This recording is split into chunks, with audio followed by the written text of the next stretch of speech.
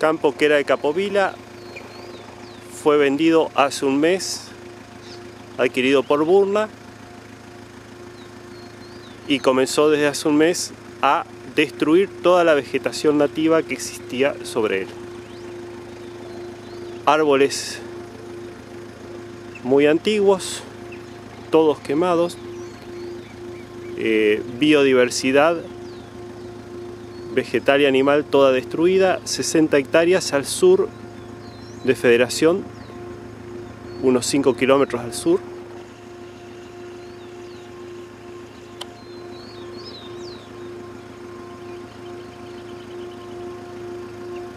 Se puede ver que están quemando, hacen montículos con la vegetación, usan dos topadoras, ahí se ven los montículos y luego los queman.